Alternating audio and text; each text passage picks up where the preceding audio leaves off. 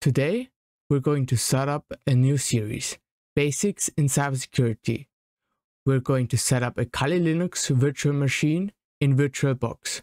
We're going to use a virtual machine because it will not interfere with the host machine itself. In this video, we will talk about the Kali Linux virtual machine itself, the Kali Linux VirtualBox predefined virtual machine, and the VirtualBox extension pack. Other than that, WhatIfTech also has its own Discord now, linked in the description.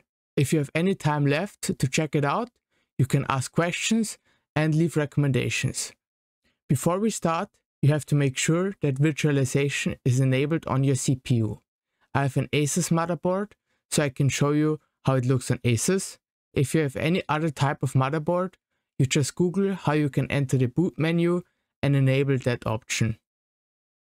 Before we start with the Kali Linux installation, the minimum requirements for a virtual machine on your PC are 20 gigabytes of free disk space, 8 gigabyte of RAM, and it's recommended to use two free CPU cores.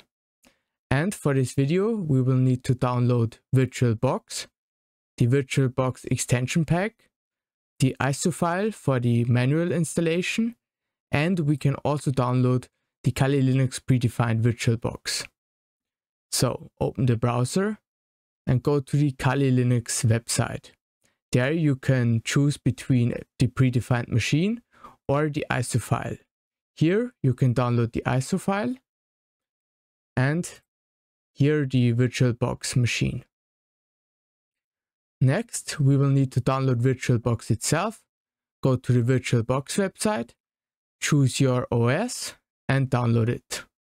Also, you can download the extension pack right here.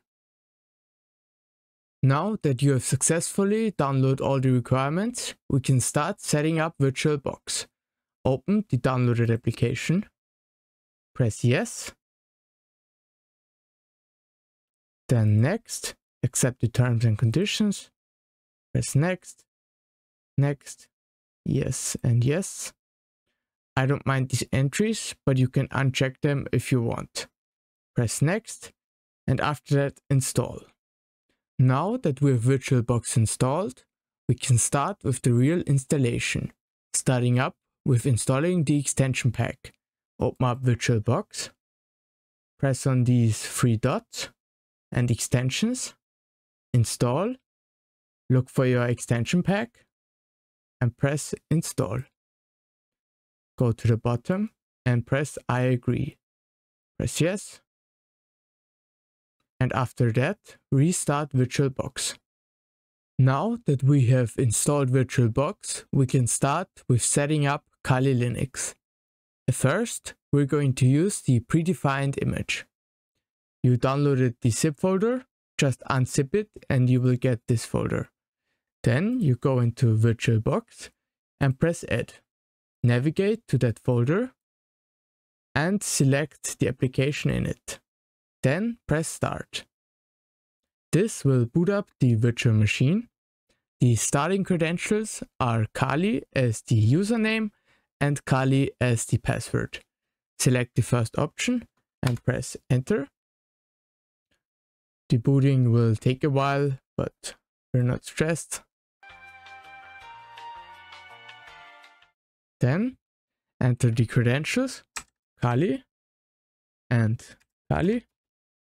You can change the password later on. And to get full screen mode, you just press this button or control right and F. And there you have it, a predefined virtual box.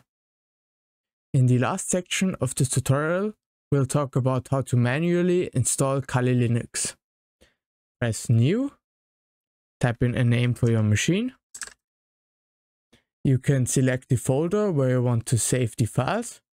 Then select the ISO file you previously downloaded. The type, subtype and version is getting selected automatically.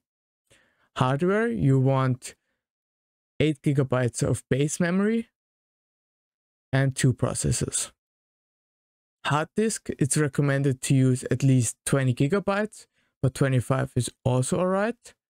It will not use the whole 25 gigabytes of disk space only if you enable this check here. Then the virtual machine will take the 25 gigabytes wherever it needs it or not. Then press finish. Now you can start up the Kali Linux machine and start with the booting process. Now the virtual machine is booting up. We're going to select graphical install. The loading screens will take a while here. Then select English and United States. My keyboard will be German.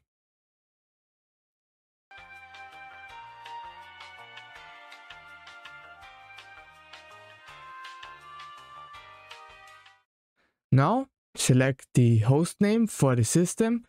I'm going to stick with VBox. The domain name also doesn't matter.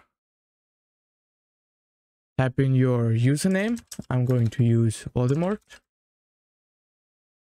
Also for my account, type in a password. It should be strong if you're using it for other purposes than a sandbox, but I'm just going to use a simple one. Now it's going to set up some other things. Log.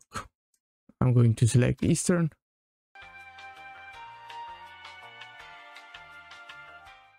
Now we're going to see the partition disks, use guided and use the entire disk. Select the only option and all files in one partition.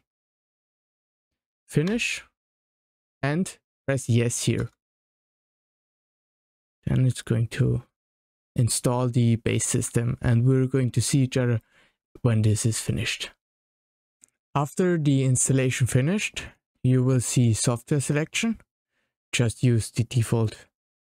We will only use the system for sandbox purposes for the rest of the tutorial series, so it really doesn't matter. After everything is successfully installed, you will be greeted with the grub bootloader selection Press yes because on this virtual machine you only have one operating system and that is meant with primary drive. So it's safe to use grub bootloader.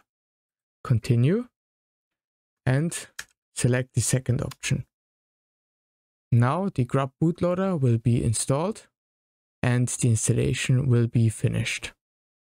Now that everything is finished, we will reboot the virtual machine And after that, we press the first option, just like we did with the predefined virtual machine. And it's going to boot up.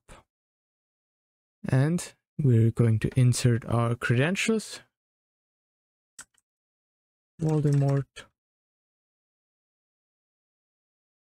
And it will be a virtual machine just like the other, but we selected our location, the time, the user and much more and it's more personalized than the predefined version.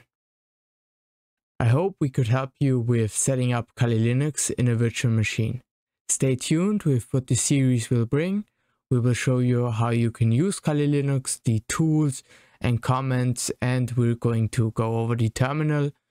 If you like this video, consider subscribing and liking and sharing this video with your friends and I hope I see you in the next video.